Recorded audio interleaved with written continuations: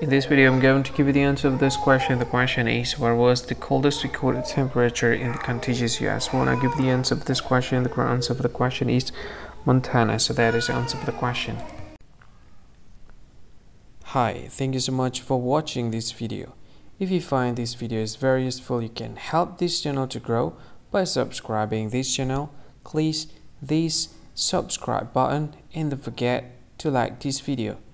And if you find this video is not really good or you don't really like this video or you kind of feel that it's a little bit offensive or something like that, you can click this one, dislike button. You can do that anyway. And if you want to share this video with your friend, you can share it by clicking this share button and you can share it to any any social media that you wish that is currently available at this time like Facebook, Twitter, LinkedIn, and many others. Right? And if you want to add this video to your playlist, you can click this one. You can watch this video later and you can find more options by clicking these three dots. And yeah, don't forget to subscribe. I think that's all of it. Thank you so much for watching this video and see you again in another video. Bye bye. See you again.